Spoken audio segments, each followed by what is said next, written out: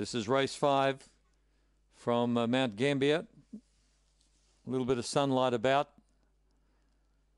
They move up quickly. Lights on. Cries Jed the favourite. Box six. Ready to race. And away. Got away very smartly, Cries Jed. Night Owl was smartly away, but Cries Jed will lead clearly. Couple of links to Night Owl. Good uh, yarn out wide, and in the middle is Candy Chimes out of the straight.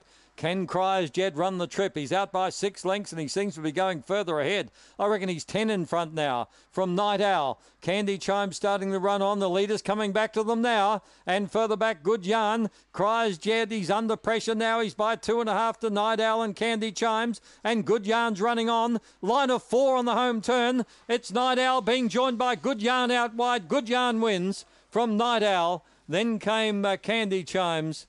And the answer is, cries Jed, doesn't run the 600. He ran last, 35.90. Eight the winner, good yarn.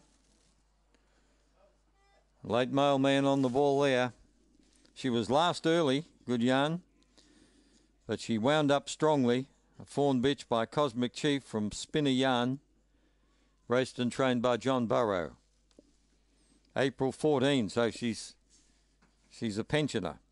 Good yarn. Deserved to win because last start she led all the way and was run down in the last couple of strides.